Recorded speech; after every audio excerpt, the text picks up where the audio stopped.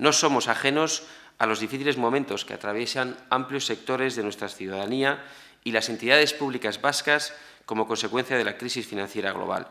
Como entidades más próximas a esta realidad, orientamos nuestro esfuerzo a preservar la atención y la ayuda a nuestra ciudadanía, pero sin caer en actitudes extremas que supongan una supresión infundada de las políticas de solidaridad y cooperación para el desarrollo.